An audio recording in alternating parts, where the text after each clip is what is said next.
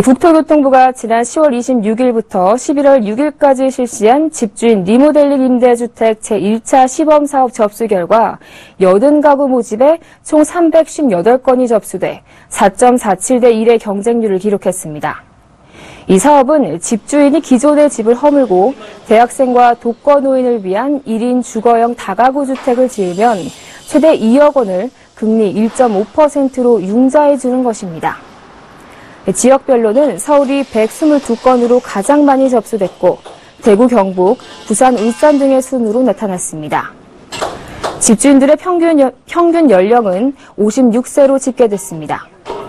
특히 신청수가 가장 많은 서울의 경우 60대 이상이 63건으로 나타나 은퇴 세대 신청 비율이 전국에서 가장 높았습니다.